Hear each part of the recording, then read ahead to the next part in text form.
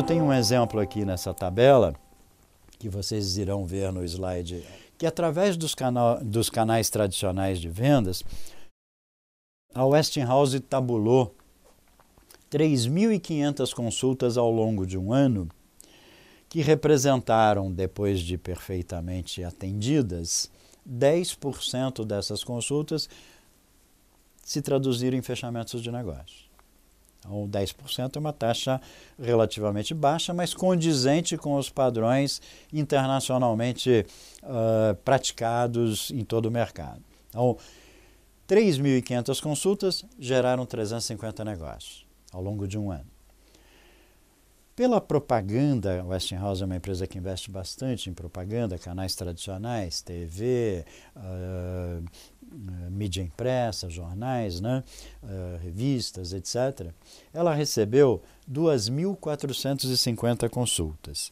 E destas 2.450 consultas, 1.225 consultas se efetivaram como negócios, ou seja, 50% do total de consultas recebidas se tornou negócio fechado. Uma boa marca, uma boa estatística. Né? Uh, por que, que ela melhora tanto em relação aos 10% dos canais de vendas tradicionais? Por uma razão simples. Como eu expliquei no primeiro uh, item, né, nos canais de vendas, é o vendedor indo ao cliente quando o cliente não está pronto para comprar. Através da propaganda, você incentiva alguém a ter o desejo de adquirir. E este alguém se mobiliza em relação a você. E é por isso que o índice de vendas que representam respostas a consultas feitas pelo cliente se torna tão melhor. Então, ele já ligou para a sua empresa ou ele já mandou um e-mail pedindo o preço né, com uma predisposição de compra. Isso possibilita que você trabalhe aquela uh, situação de uma maneira muito mais positiva para os seus negócios. E por último, o canal de entrada de consultas, que foi tabulado pela Westinghouse, que é o de feiras. Através das feiras, foram 1.050 consultas, que representaram 15% do total de consultas no ano e que se traduziram em nada mais, nada menos do que 840 negócios. Ou seja, 80% das consultas recebidas dentro do, do ambiente feira, através dessa ferramenta, se tornaram negócios. Porque nas feiras, a predisposição de compra é total. Não existe visitante de feira passeante. Ninguém vai para uma feira passear, as, as, opções de passeio são muitas. Uh, tem gente que costuma dizer, não, mas de vez em quando aparece um curioso. Aparece, um, dois, três. Isso é inexpressivo.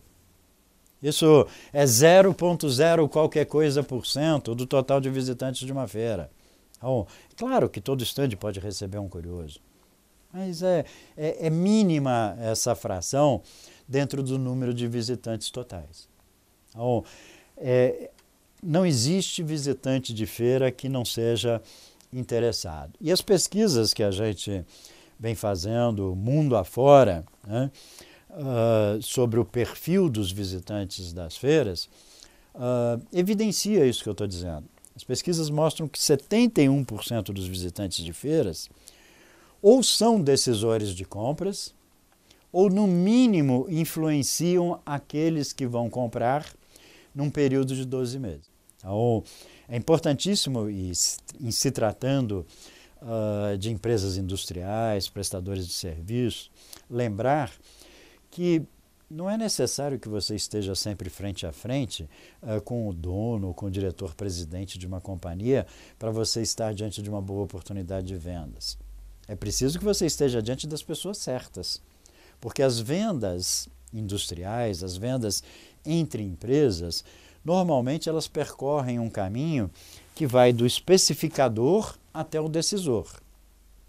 E esse especificador, que está às vezes lá embaixo, lá no chão de fábrica, né, pode não ser um, um decisor, mas ele é um sujeito que seguramente influencia de uma maneira extremamente importante a sua decisão de compra. Ele pode influenciar isto de uma maneira. Vamos exemplificar. Vamos exemplificar uma especificação onde ele pode até não decidir que será a sua empresa a fornecedora do produto que ele precisa. Mas ele pode pegar da sua vizinha, uh, que é a atual fornecedora, e dizer: Ó, oh, dela eu não quero mais, porque isso daqui dá muito problema. Então ele já decidiu, ele pode não ter decidido quem vai ser o novo fornecedor, mas ele já decidiu quem não vai ser mais. Então, o especificador que está, às vezes, lá no chão da fábrica ou num canteiro de obras, no caso de construtoras, de empresas de prestação de serviços civis tal, aquele sujeito que está lá embaixo, às vezes, pode ter uma influência muito grande nessa decisão de compras. E é isso que é preciso pensar, que não é só receber o engravatado no stand e abrir um, um tapete vermelho para ele, achando que o engravatado que chegou e deu um cartão de diretor, esse que é o visitante importante. Às vezes um sujeito que pode estar uh, vestido da maneira mais humilde possível, que chega lá e se apresenta: olha, eu sou técnico da empresa tal, eu trabalho na, na fábrica da empresa X, eu estou interessado aqui em saber mais detalhes do seu equipamento, pode ser um grande influenciador de uma decisão de compras de um produto da sua empresa. Então, jamais despreze ou avalie um visitante pela indumentária dele, pelo aspecto que ele tem quando ele está ingressando no seu estande. Aguarde que ele lhe diga por que, que ele está no seu estande. Deixe ele falar. É comum que nós que somos pessoas de área comercial uh, e não aprendemos nunca, a gente está sempre cometendo esse erro, a gente fala demais. Né?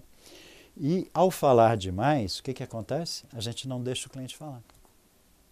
Então a gente já atropela esse primeiro encontro esse primeiro momento do relacionamento e começa a falar dos nossos produtos sem que o visitante tenha dito o que, que o trouxe ali, por que, que ele está ali o que, que ele precisa. Muitas vezes você começa a falar do seu produto errado para o cliente. Às vezes você tem uma extensa linha de produtos e resolve focar num determinado produto que aquele ele já tem na empresa dele. E deixa de falar de um outro que ele está interessado e que você nem deu chance dele perguntar para ele uh, perguntar para você uh, se você teria uh, boas condições para esse produto.